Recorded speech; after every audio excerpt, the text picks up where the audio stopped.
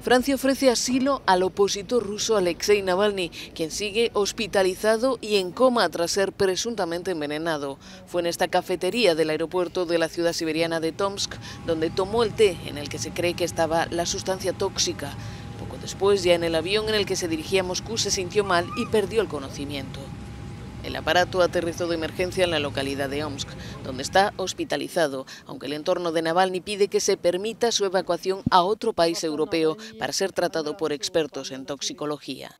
Tanto la canciller alemana, Angela Merkel, como el presidente francés, Emmanuel Macron, anunciaron este jueves, tras un encuentro, que sus países están dispuestos a dar asistencia sanitaria al activista ruso.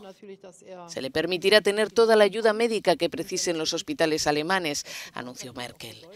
Francia ha ido más allá al ofrecerle asilo. Las piezas se mueven para permitir el traslado, al que el Kremlin no se opone. Se barajan como destinos Hannover o Estrasburgo.